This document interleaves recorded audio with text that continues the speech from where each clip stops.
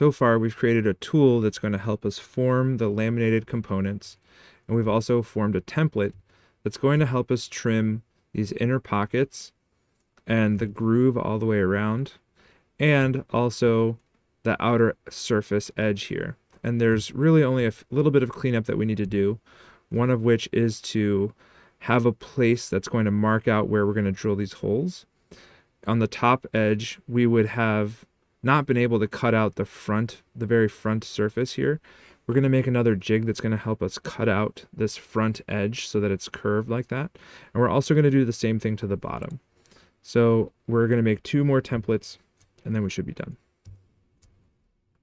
So the first thing I'm going to do here is in our side sketch, I am going to start laying out what this tool looks like. And I'm going to have it key into the shape that we cut out previously of this outer surface.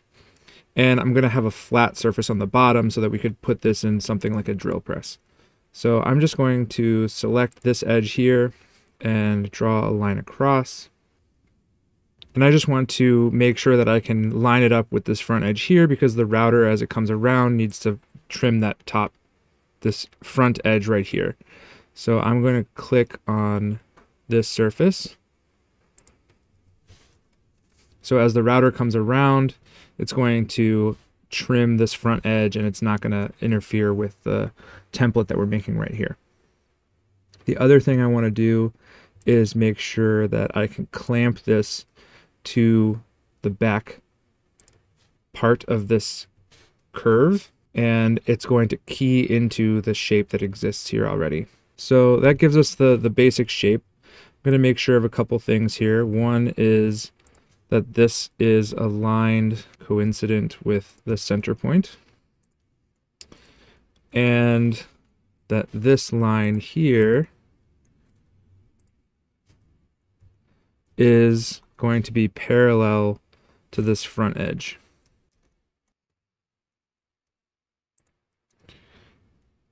So I'm just going to select these two lines like this, and I'm going to make them parallel.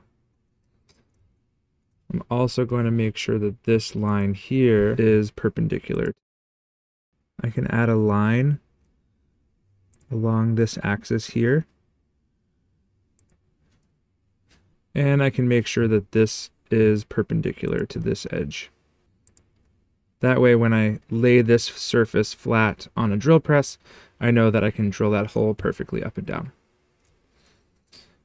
I'm going to extend this line as well up to the top.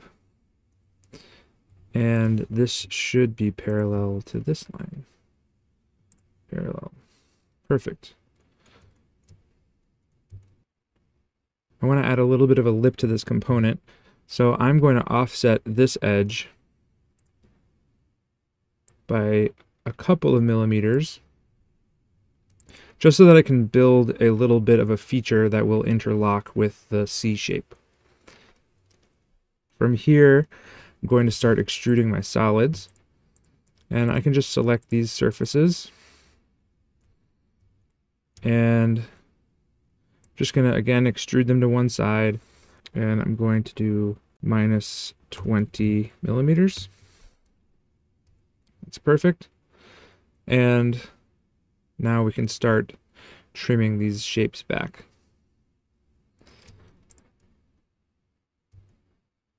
So this was the previous location of the template, is this outer edge here. And I'm going to also extrude out a separate feature. And I need to momentarily hide this arm. And what I can do is go into the extrusion feature that I just finished. And I can add a profile to this extrusion by just selecting that area.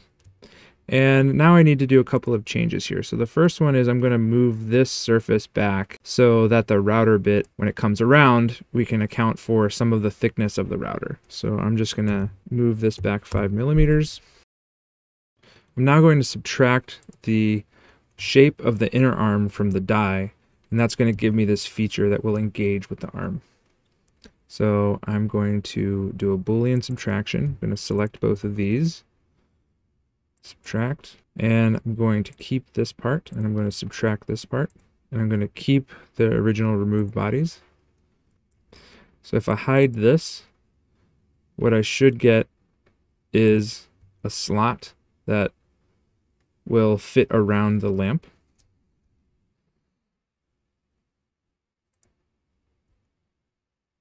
The other thing I need to do is also trim this top section so that I can have the router bit follow along. And I'm going to split this body.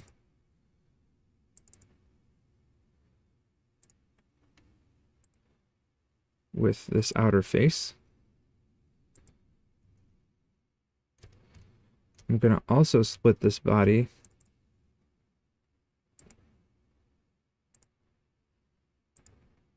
this way.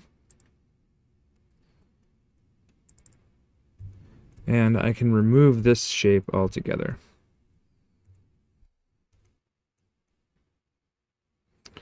The last remaining thing is to just fillet this corner and have it match up with the lamp shape itself.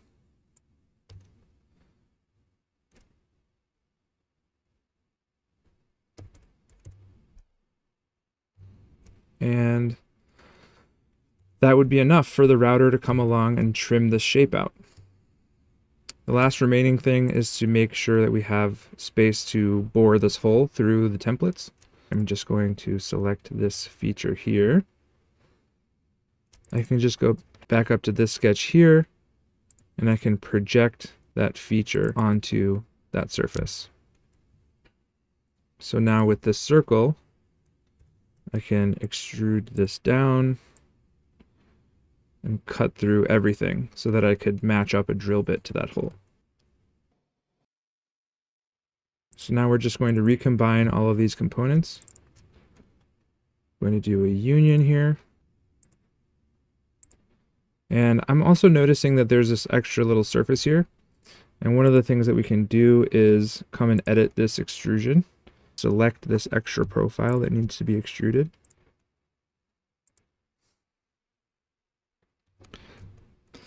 And there's several things that we could do here, like we could add features for screws to be able to clamp this together or add space for clamps to come along. Um, but this is the general shape that we're trying to approximate. I'm going to add a little bit of thickness to this bottom surface just to give a little bit of extra support. And that way we don't have a sharp edge on this corner over here. And then all that remains is to mirror and boolean everything together. So I'm going to select mirror. I'm going to mirror on this surface. Click done. And we can boolean these together. Union.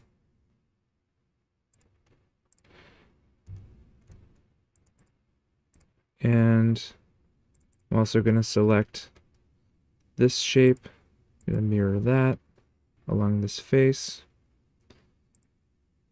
and one more boolean.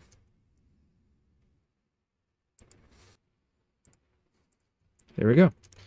So now this allows us to complete this outer surface by trimming the rest of the lamp shape and also gives us a place to bore out the hole needed for our lampposts.